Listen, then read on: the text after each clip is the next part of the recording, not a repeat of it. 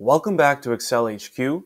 Today we are diving into the importance of data validation and every way you can use it to best help you. Data validation is especially great for when you have multiple people working on a single Excel sheet because you'll always want to ensure that the data is accurate, consistent, and error-free. Data validation helps make sure that the data entered is always correct and it can speed up multiple processes in Excel. I'm going to show you how to restrict certain data types, circle incorrect data, have input and error messages when incorrect data is inputted, and what I find the most useful is creating drop-down lists, and then having further drop-down lists dependent upon what you choose in your first list. Now, let's dive right in. All right, now what you see right here is a list of students, and we are going to list off their programs, the specialization within their program, and their expected graduation year. And we're going to do this all with data validation. And we're going to start off with expected graduation year. To find data validation, you'll want to go to the data tab in your home ribbon. And then here you'll find this symbol here.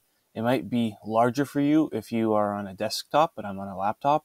So I only have a small image, but it is data validation. You'll want to click on that. And then this will pop up. You'll have settings.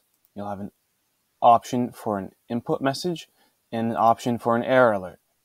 So first with settings, we can allow only certain types of numbers to be allowed in this list.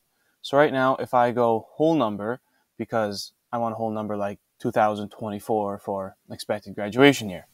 And then you could choose between, not between, equal to. There's many other restrictions you can put on this. But right now, I know that everybody on this expected graduation year is either a first or a fourth year. So the minimum it could be right now is 2024. And then the maximum it could be is 2027. So then I will press OK, and that will apply the changes to only this cell right here. If I try to put in 2000, I'll get the error message and I can retry or cancel. It won't allow me to have that in there. However, you can change it so that incorrect data is allowed so you would go back to your data validation and your error alert. I have it at stop. You can change this to a warning or information. So for the information, you can add a title and an error message. For right now, I could just put something as simple as this is wrong. And I press OK on that. And then I type in the year 2000. It says, this is wrong. This value doesn't match the data validation restrictions defined for this cell. I press OK. However, it allows me to enter in the number even though it is incorrect. Most times you don't want to let that happen. So you would just keep your data validation on stop. And you can also have an input message to make sure that the people are always inputting the correct information. So right here, I could put, make sure the year is between 2024 and 2027. I press OK on that whenever I click on this certain cell right here, this will pop up. Make sure the year is between 2024 and 2027. I type in 2027, it works perfectly. I want to apply data validation to my whole column here. I could just use this right clicker right here just to drag it down. It is now applied to this one. I will take out the 2027 though, and I could drag it as far as I want down. The input message stays. If I type in the wrong number, I'll have, I put the stop option on so then it will stop me as well. Now that is just an example with whole numbers. You could also do data validation for decimals, dates, times, text length. So if I went to a different cell here, let's say my specialization, and I did data validation, text length, well, I would have it greater than, it has to be greater than 4. There we go. And then I type in the word like 2. What happens? It doesn't allow it to happen. If I type in the word 4, does it allow it to happen? No, because it's greater than 4.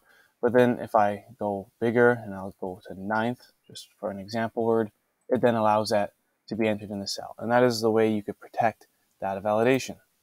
Now, for lists, lists are probably the most useful thing that data validation can do for you. So here I have my program lists and then my specialization lists.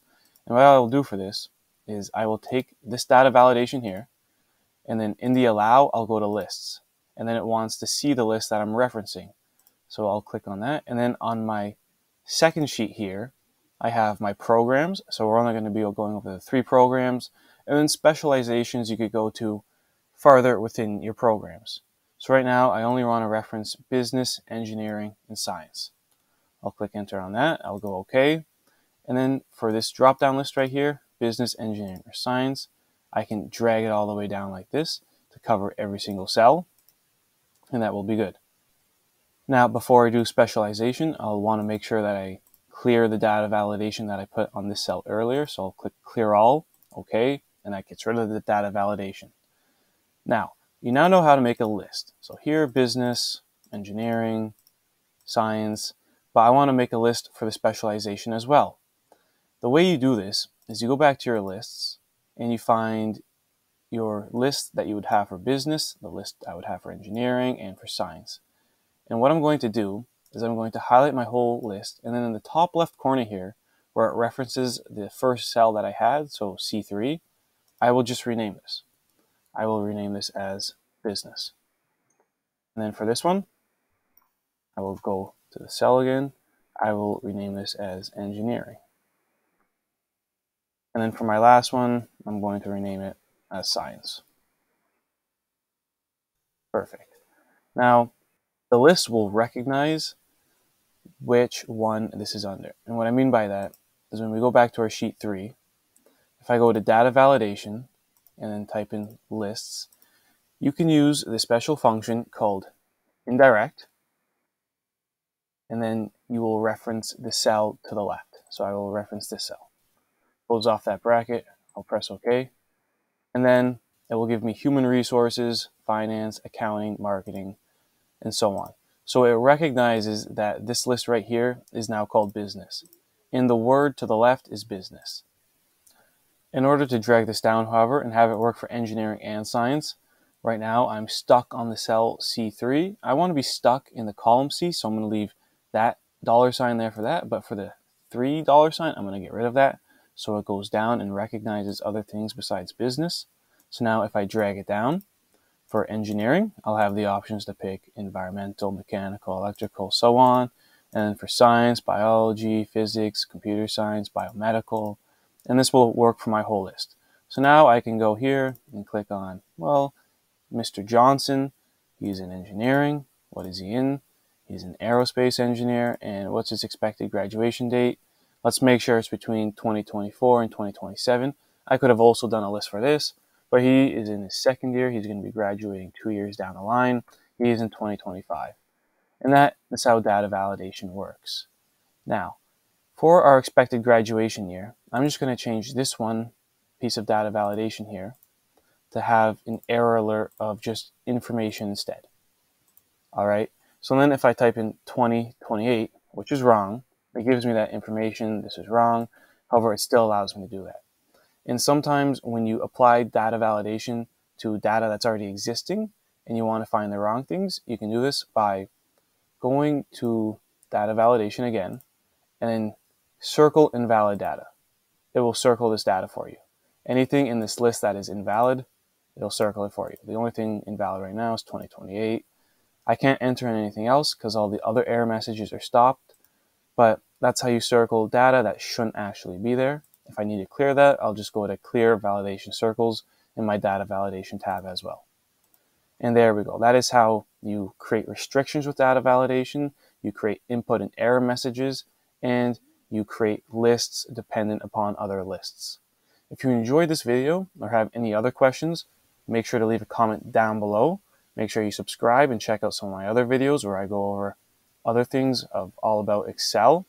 But now I'll see you in the next video.